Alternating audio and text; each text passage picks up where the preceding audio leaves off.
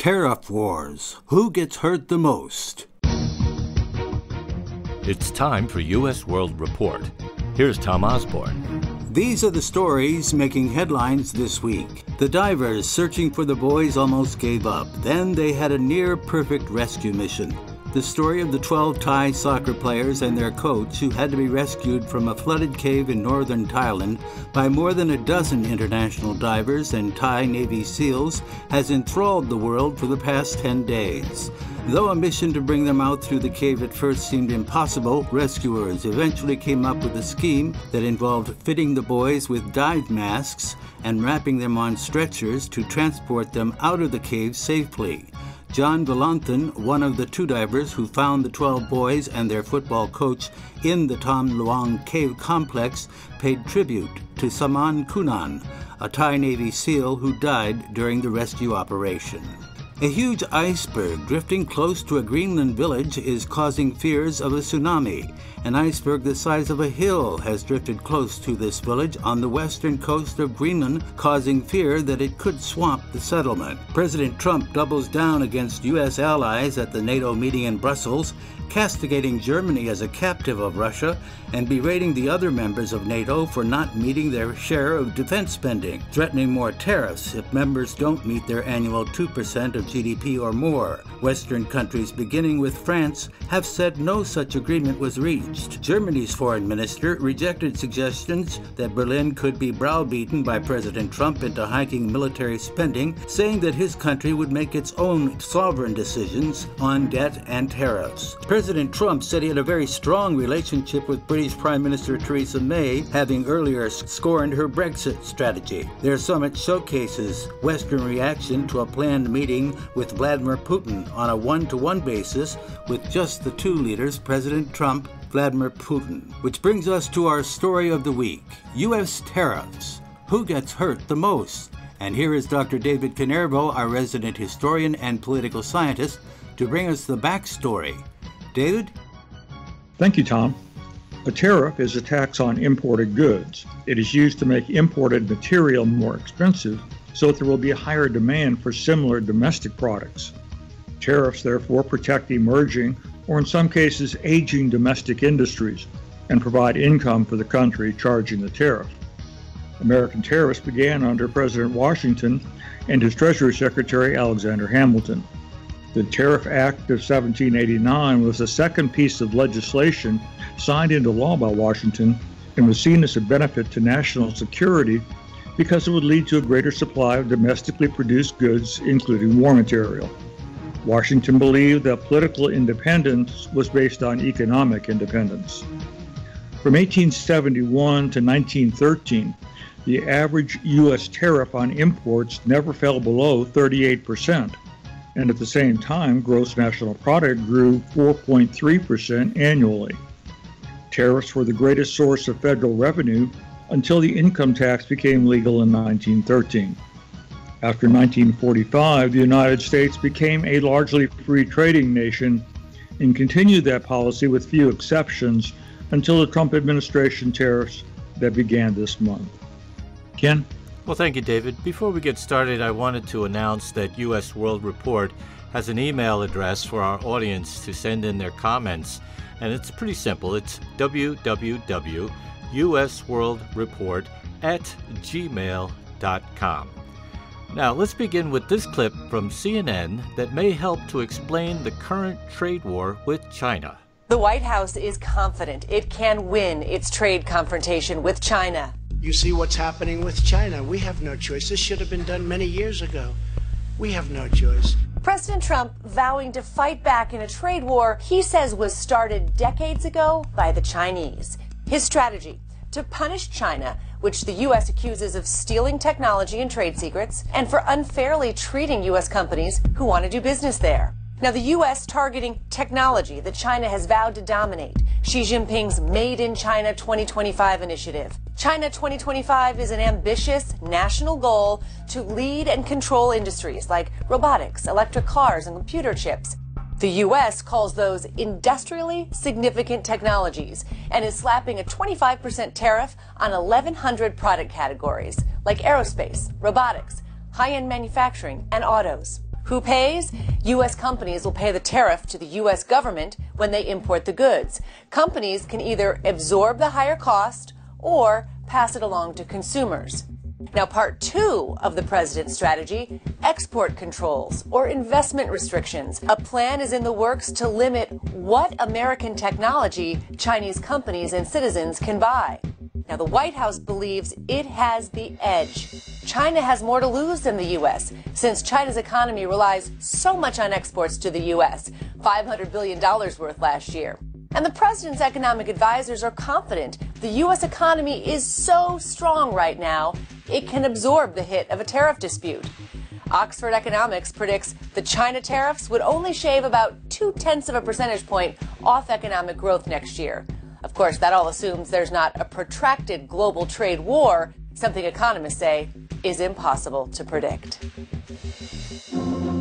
As strong as the economy is claiming to be, or being claimed to be, Harley Davidson is not having a good year. The, the motorcycle company in January, struggling to reverse a four year slide in sales, had to close its Kansas City factory. And now President Donald Trump, who seems as if he'd like to be a Harley man, has added to its woes. This week's announcement of steel tariffs on U.S. imports could add $30 million to the company's costs, according to Wedbush Securities, an investment firm. Tom Osborne, would you like to weigh in on this? Well, as we approach the uh, international debate, which is now ensued, it affects us coast to coast. Uh, we should keep in mind that a tariff, as David suggests, is a customs tax, a levy on imported goods. And the tax is a percentage of the total cost of the product, including uh, the freight and insurance. Tariffs work by increasing the price of the import. Those higher prices give an advantage to domestic products within the same market. But tariffs are a barrier to international trade. Other countries retaliate and impose their own tariffs, and over time, tariffs reduce business for all countries, including the United States.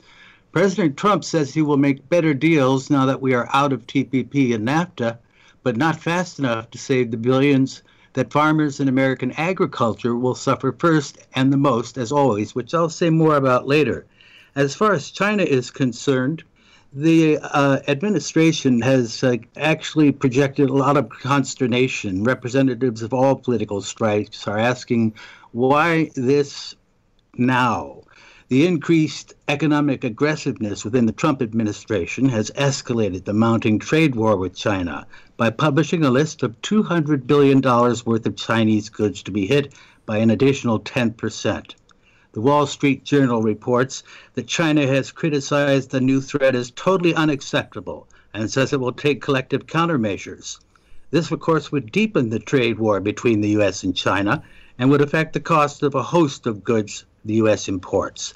Senate Finance Chairman Orrin Hatch called the new tariffs reckless and untargeted, and not to mix oranges and apples. But only last week, Hatch predicted Trump would be the greatest president in the history of this country and that is a quote. And from the publication The Hill, Senator Jeff Flake, a Republican, a frequent critic of the president, was instrumental in reaching an agreement with the GOP leadership to get that non binding vote instruct negotiators on a spending bill to give Congress more authority over the president's ability to implement tariffs for national security reasons. This, of course, sending a symbolic message, basically meaningless compared to what could be done in response. Ken? Well, getting back to Harley for a moment, about 16% of Harley's sales are to Europe, and the company has warned that in addition to the effects of metal import tariffs in driving up manufacturing costs, a punitive retaliatory tariff on Harley Davidson motorcycles in any market would have a significant impact on their sales and their dealers, their suppliers, and their customers. For Harley, the threat of tariffs has a ring of familiarity. Uh, Dr. Kanervo, in 2003, the EU also threatened additional tax levies on its bikes after George W. Bush sought taxes on imported steel. Can you comment on that? Well, yes, Ken. Uh, it seems to me that, uh, as you mentioned, Harley has been through this before. We, from time to time, go back and forth on whether we're going to have tariffs or not. One of the things that uh, I guess Harley is unwilling to do is see whether uh, the steel manufacturers in this country can expand rapidly enough to produce steel at a price which would benefit their company. And uh, because of the, uh, of course, tariffs from other countries, they're moving their plant, at least to uh, one of them, to Asia so as to prevent the uh, use of tariffs against them in that part of the world as well. Ken? You're listening to U.S. World Report with Tom Osborne, Dr. David Kanervo, Mary Saliba, and Ken McCaleb, and we'll be back right after this.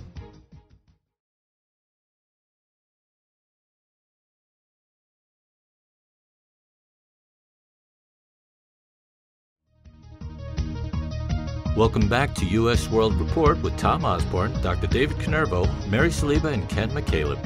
This next audio clip is from the BBC News and it's titled Results of the NATO Summit. Let's give it a listen. For years, presidents have been coming to these meetings and uh, talked about the expense, the tremendous expense for the United States, and uh, tremendous progress has been made. Everyone's agreed to substantially up their commitment. They're going to up it at levels that they've never thought of before. Uh, prior to last year, where I attended my first meeting, it was going down. Uh, the amount of money being spent by uh, countries was going down and down very substantially, and now it's going up very substantially, and commitments were made. Uh, only five of 29 countries were making their commitment, uh, and that's now changed. The commitment was at 2%. Ultimately, that'll be going up quite a bit higher than that. So we are uh, we made a tremendous amount of progress today. Uh, it's been about at a minimum they estimate, and they're going to be giving you exact numbers. But since last year, they've raised an additional $33 billion. Uh, that's been put up by the various countries, not including the United States. And the United States' uh, uh commitment to NATO is very strong, remains very strong but primarily because everyone, the spirit they have, uh, the amount of money they're willing to spend, the additional money that they will be putting up, has been really, uh, really amazing to see it. To see the level of spirit in that room is incredible. And I hope that we're going to be able to get along with Russia. I think that we probably will be able to. Uh, the people in the room think so, but uh, they nevertheless, they really stepped up their commitment and uh, stepped it up like they never have before. Tom Osborne, can you explain to our audience what he's talking about, getting along with Russia, and some of your research on NATO and how it might relate to today's topic of tariff wars? Well, let's start with business first. France immediately responded this morning saying they absolutely did not agree to anything like increasing 2%. That remains the same. So uh, the president is mistaken on that. We could start with the overall Trump strategy, which we all have seen here at home, but on the international stage of NATO, it was clearly revealed in the press conference at the end of the NATO meeting. Trump's strategy was on international view. He lays the foundation to form a narrative that he wants to continue in a moment like that when he has the stage. So the narrative he was creating there was a problem. He beat everybody up, walked out solving it, and that is how NATO is now a fine tuned machine, which of course is not true. So before that foundation can set, it is important to check facts and recheck. And that is what I hope we can do today, particularly since NATO was the jumping off point for the president to reaffirm the tariff war the U.S. is now waging against the rest of the world. It's the politics of grievance, as some have put it, the definition of tariff is simply custom taxes, but this has a political commentary that follows it all the way to Russia and across uh, the various countries that we have as allies. Countries waive tariffs when there is free trade agreements with each other.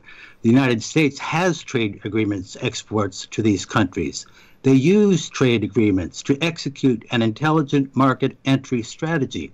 The foreign customers pay less for U.S. exports because they are tariff free. U.S. policymakers go back and forth, of course, on whether tariffs are good or not. When a domestic industry feels threatened, it asks Congress to tax its foreign competitors or imports. It helps that sector, and that often creates more jobs. Growth in that industry improves workers' lives, but also raises import prices for consumers. So there's a trade off.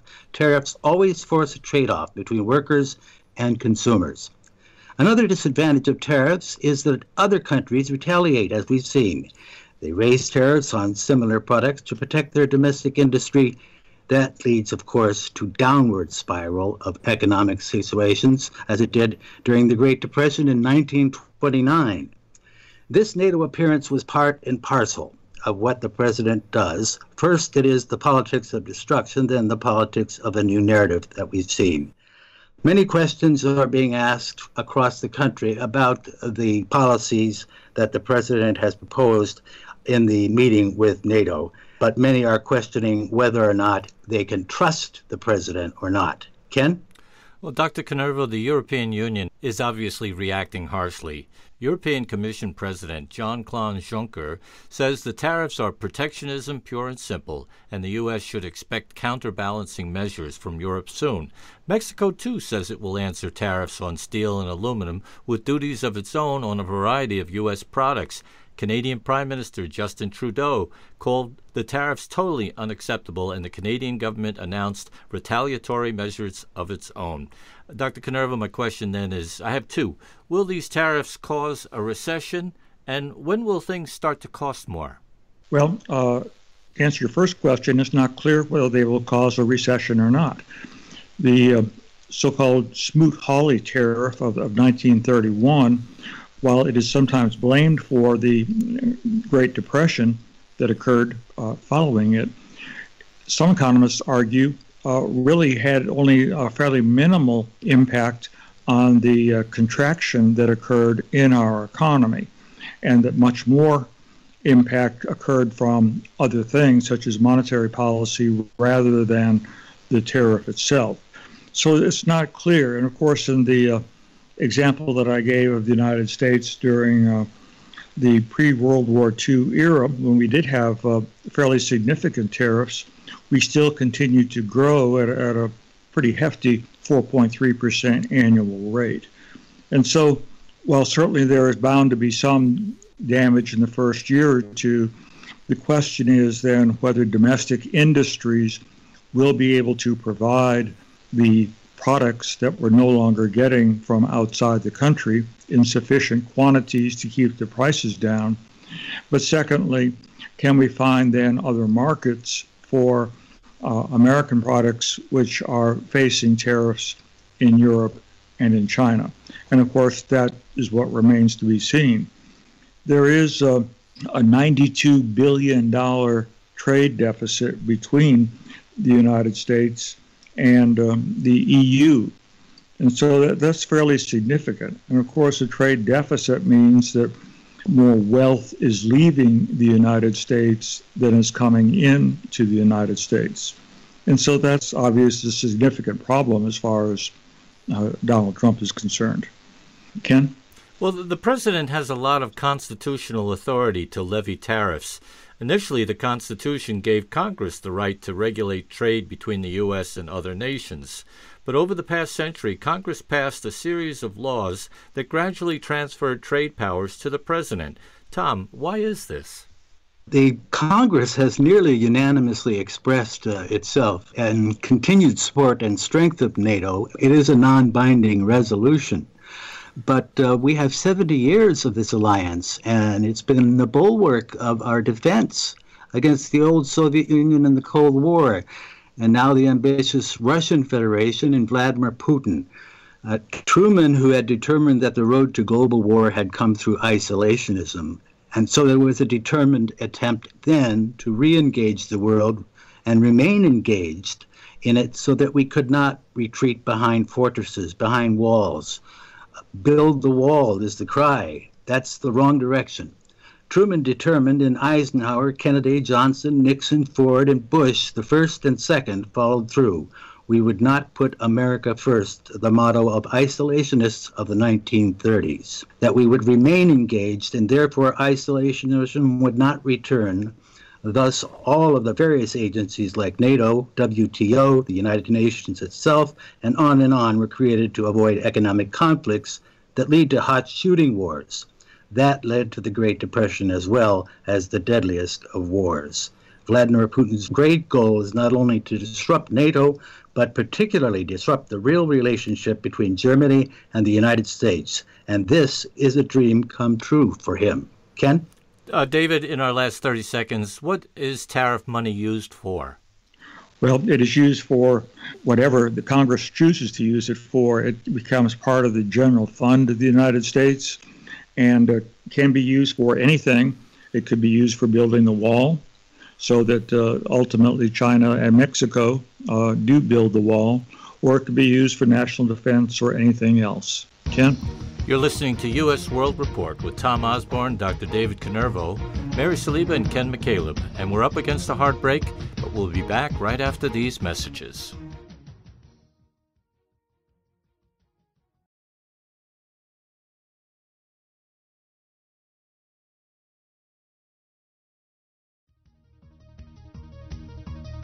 Welcome to U.S. World Report. I'm David Kanervo, along with Tom Osborne, Ken McCaleb, and Mary Saliba, and we're talking about trade wars. Ken? Thank you, David. Here's a Fox News audio clip about a farmer in Iowa and how he's dealing with the tariff wars. Trade retaliation hitting farmers across the nation. China says it's slapping tariffs on more than 100 key U.S. imports, including cars, soybeans, and pork. That's in response to the White House plans for tariffs on $50 billion worth of Chinese imports.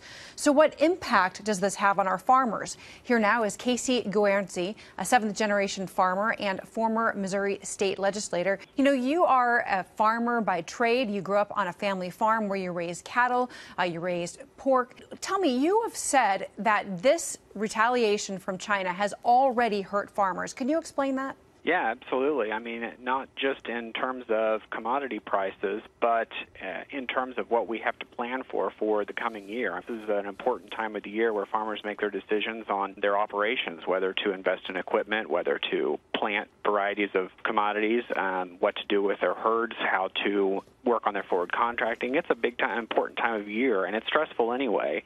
So whenever you have something like this on top of it, it adds a level of stress. You know, another thing that we've heard, uh, Jeff Flock was reporting yesterday that when those prices for soy, for example, was dropping, China basically came in and bought. That can't make farmers happy. But the question is, is the is the short-term pain worth the long-term payoff that President Trump is hoping to achieve?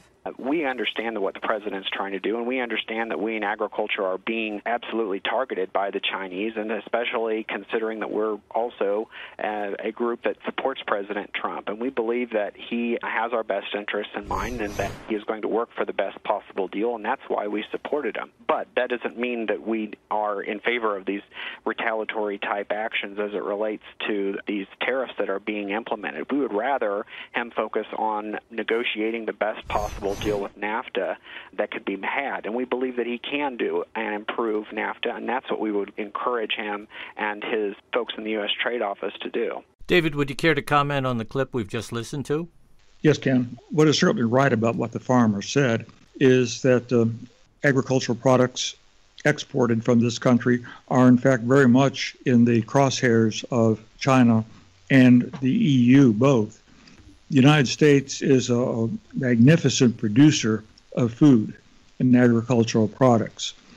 And the fact that we have such an abundance means that we have to export it in order for the farmers to do well.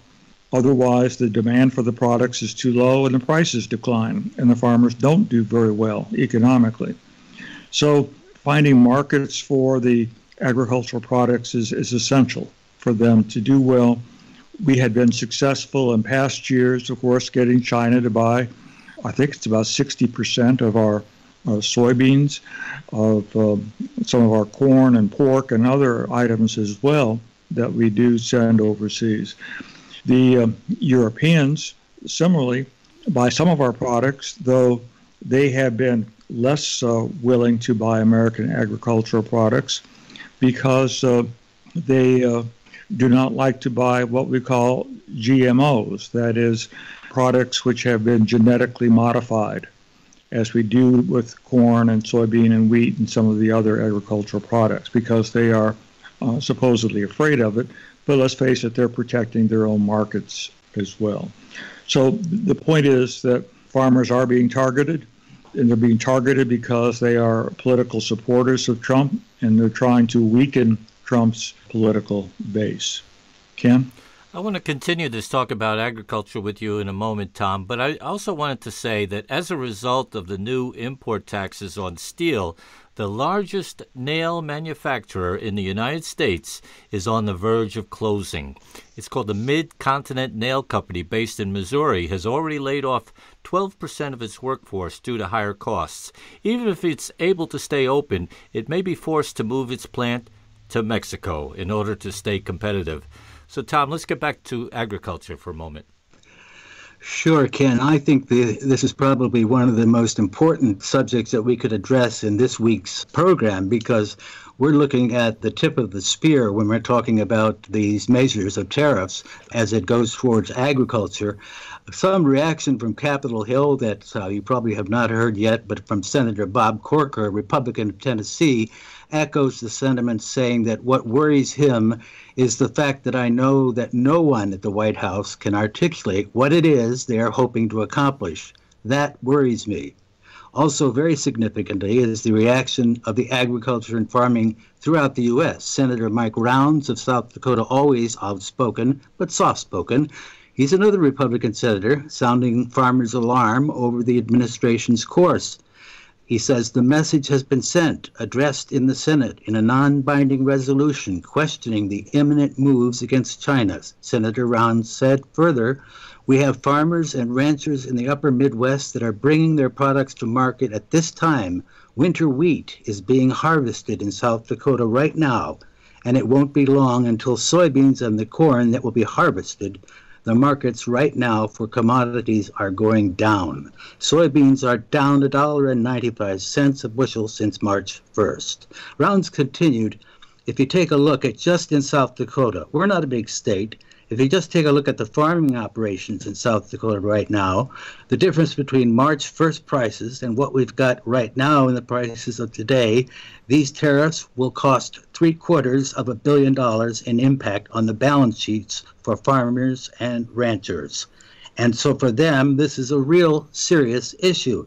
And I lived out in South Dakota, and I know what it's like when the farm prices take a dip it means everything. It means a whole season. And it's not a matter of saying, yeah, I'm going to suggest we might be putting in tariffs, because markets react immediately.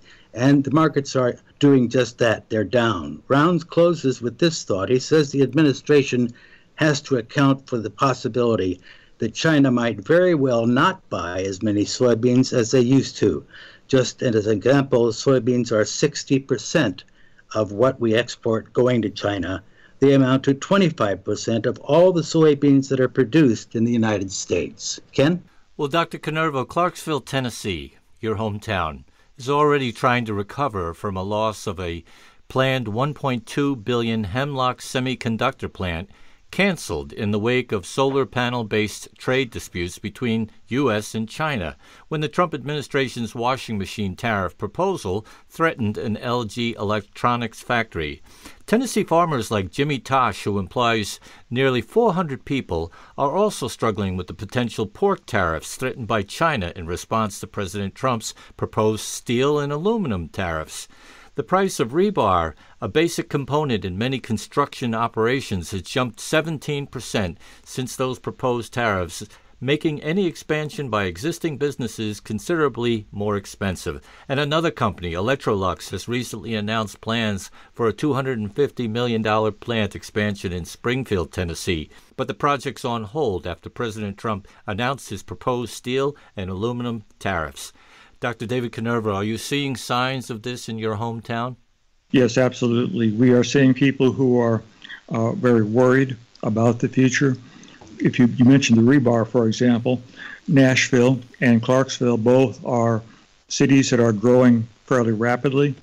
And so the construction industry is going to be badly hurt by the uh, increased cost of rebar.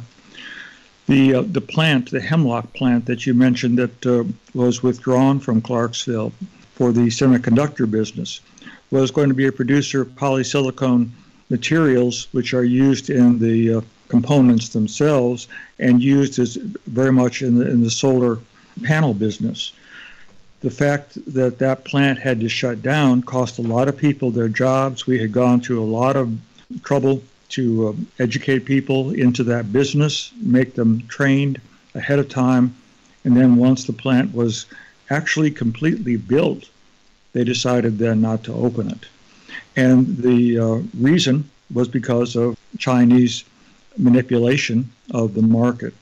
And, and that's the other side of the coin with all this.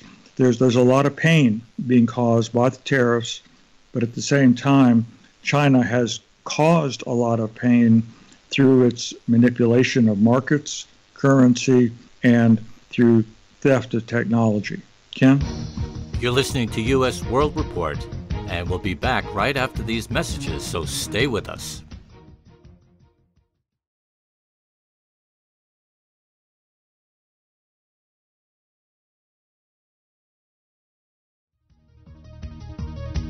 Welcome back to U.S. World Report. Today we're talking about the tariff wars and the impact here in the United States. Ken? Thanks, Tom. This clip is from HBO and really exposes the vulnerability felt by cattle farmers in the announced U.S. China tariffs. President Trump promised today that even though he may be starting a trade war with China, American farmers would come out ahead. If during the course of a negotiation, uh they want to hit the farmers because they think that hits me.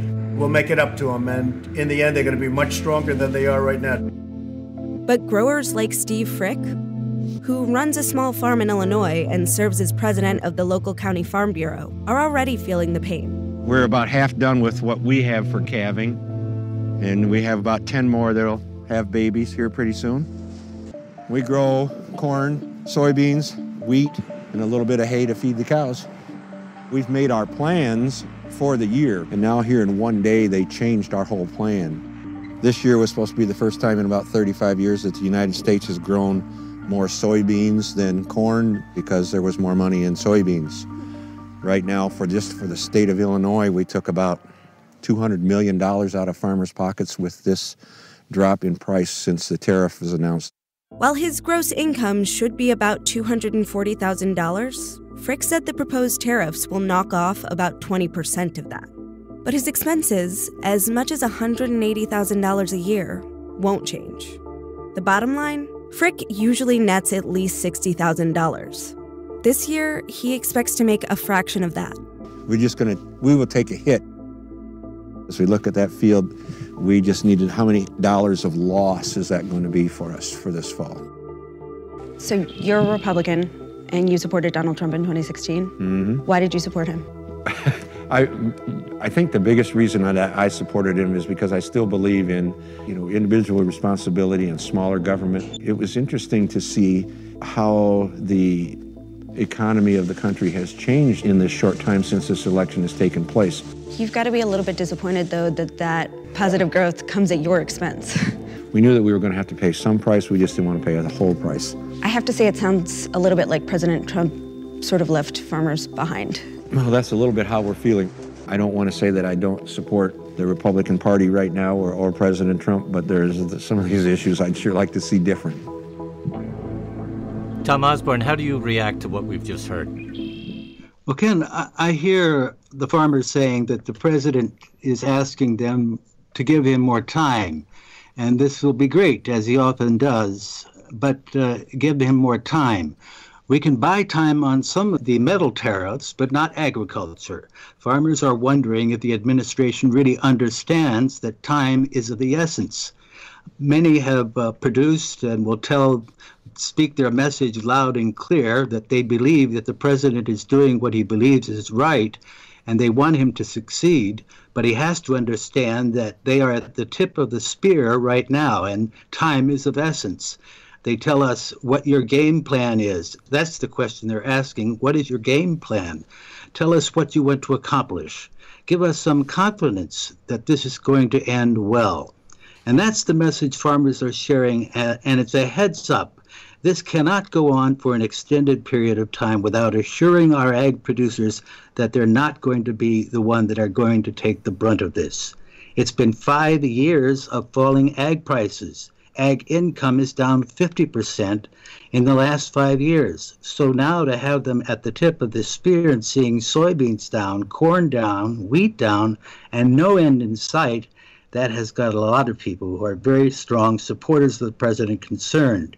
What they want to see is evidence of success. Senator Mike Rounds uh, summarized it best by saying the example is the Trans Pacific Partnership, TPP, that was going to provide us with half a billion people in the Pacific Rim that would be buying our product. Back in January a year ago, the administration said, We're not going to take it. We are going to do individual trade deals. None of them are done. Then we had NAFTA, and we're going to have a better deal. So far, we don't have any deal at all. And now we're talking about delaying that once again. Ken? Well, the North American Free Trade Agreement currently being renegotiated allows U.S. barley farmers to export their crops to Mexico without paying import taxes. And in the last decade alone, the U.S. farmers sold $1.82 billion worth of barley to Mexico. Now, if the United States were to withdraw from NAFTA, resulting trade restrictions could not only hurt American grain farmers, but increase the price of beer sold back to the U.S. by the Mexican brewers. Dr. Kanervo, who gets to decide about these exemptions back and forth? Well, that's one of the things that the trade negotiators and to a certain extent uh, Congress, if they wish to, can exercise their judgment as well as to what products are exempted and which ones are not. And, and that's part of the problem in that uh, not all goods are treated equally. And so we're, we're deciding which uh, segment of the economy will be benefited and which segment of the economy will be hurt without equal treatment, equal pain, or equal benefit to everybody. Well, I'd like to ask a follow up of you, David. Um, how will this affect our savings, like uh, 401ks and other savings plans? Well, one of the things it, of course, could do is make products which come into the United States more expensive, which is inflationary. So it will mean that the money that we have set aside for retirement won't go quite as far as it otherwise might. And, and so that's, again, uh, a problem that uh, could occur down the road. The other side of the issue, though, is whether we make enough money from tariffs as a country to perhaps provide some subsidies to those who are, are feeling the pain from the tariffs as well. Ken? Well, import and export taxes makes it more expensive for users of foreign goods, causing a decline in imports, a decline in the supply of the good, and a resulting increase in the price of the good and the price increase usually motivates domestic producers to increase their output of the product. But with all the product that our farmers are producing and unable to even pick off the farm because of uh, foreign workers that have been exported out of the country, this seems to be a spiraling situation going out of control. Tom Osborne? Well, it doesn't put us in any position of strength, Ken, to negotiate with China now or anyone. And that is not exactly the way even the president has suggested he wanted to negotiate differently. Uh, in my part of the country, or our part of the country, David and I in Tennessee, the country people want to see this president succeed. They don't understand the tactics he's using to get there, however. And agriculture has been a strong supporter of the president, but are beginning to question this support. We talked about the soybean producers today, and the representatives of the American Farm Bureau, all of them have said the same thing. There are not the best deals out there, but it has gotten a lot worse in the last couple of months.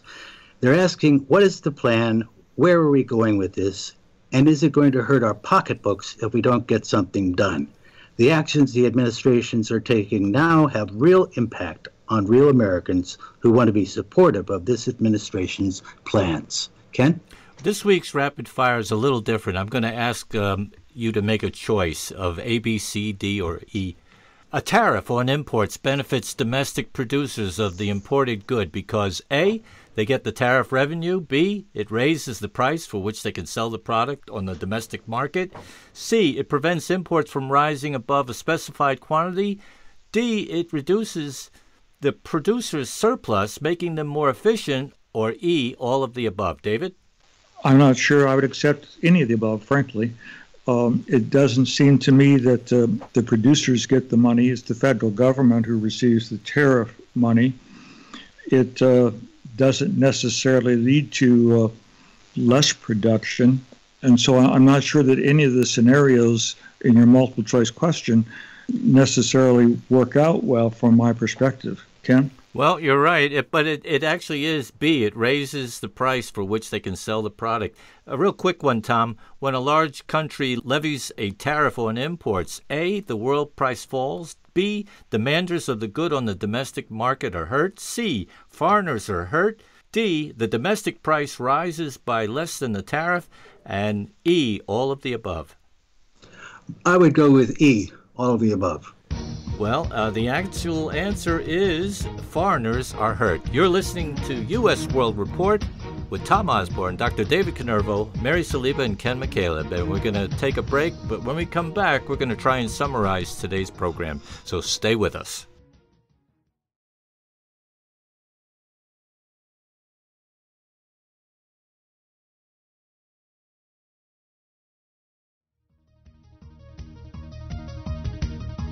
Welcome back to U.S. World Report, and this is our show's summary segment where we get a chance to share some final thoughts. And we now turn to our news team editorialist, Miss Mary Saliba.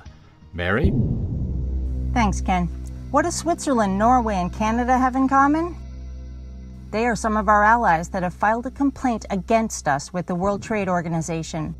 The U.S. claims that tariffs on steel and aluminum are needed for national security. Normally, member nations will not act prior to a WTO ruling, such as in 2002 when Bush placed tariffs on steel. He lifted them within a year at a cost to the U.S. economy of about $30 million. This is more isolationism than protectionism, as one of our strongest protections comes from our neighborhood of allies committed to human rights, fair trade, progress, and peace. Sometimes poking the friendly bear will suss out its weaknesses to the benefit of the deal maker. This does not seem to be that game. There is no deal, and allies are striking back. The U.S. seems to be a lone ranger promoting vigilante justice. U.S. first, using power and retaliatory threats, such as the president's recent comment about the WTO. We're not planning anything now, but if they don't treat us properly, we'll be doing something. Our little cart of Campbell soup, Smuckers, a bottle of Jack, and a local paper will all cost more. Small businesses have already folded. Retaliatory tariffs are not accidentally hitting red states hardest, though many believe that they are enduring financial hardship for the greater purpose, that ultimately American jobs and goods will be the strongest in the world. The opposite is true. From the Paris Accord to our criticisms of NAFTA and NATO, we are forcing the hand of our allies not to make better deals with us, but to band together against us. To make America and its products great, we must first invest in the people who will build our future, supporting education, healthcare, science and technology, housing, living wages. If our democracy is to survive, we must make America a country of progress, of inclusion, not a story of a lonely kingdom counting its money. This has been Mary Saliba for U.S. World Report. Ken? Thanks, Mary. Now, Dr. David Kanervo, could you please share with us your final thoughts regarding today's program? Sure. It seems to me that uh, the tariffs have good points and bad points. Let me start with the bad ones. U.S. Tax Foundation has estimated that uh, because of the tariffs, the United States GDP and wages will decrease by one tenth of 1%, that we'll lose about 79,000 jobs in this country, and that prices will increase, and as a result, our overall tax system will become less progressive. On the other hand, however, it was estimated by Steve Bannon and some others uh, a couple of years ago that a 20% tariff on all goods that Americans buy from other countries could raise $1 trillion for the American Treasury over the next 10 years. It's a lot of money, and I, I can't help but wonder if uh, Trump doesn't have the tariffs in mind as a way of bringing in some money. My final thought is that in all of this, rather than dealing with the EU and Canada as enemies, China is the big problem, and China is the one perhaps we need to focus on and leave Europe and Canada alone. Ken? Well, Tom Osborne, as always, you have the final say. Thank you, Ken. David. President Trump says he'll make better deals now that we're out of the TPP and NAFTA, but not fast enough to save the billions that farmers and American agriculture will suffer first and the most as always. And that's a subject we'll have to deal with in the future because we're out of time and we hope that we have at least opened a few windows on the world and throughout our country as we face these new economic threats. We thank you for joining us and we look forward to being with you next week as we bring you another edition of U.S. World Report. I'm Tom Osborne with Ken McCaleb, our executive producer, Dr. David Kanervo, our resident historian and political advisor, and of course, Mary Saliba, our editorialist. We hope you'll be listening to next week's U.S. World Report. Thanks for listening.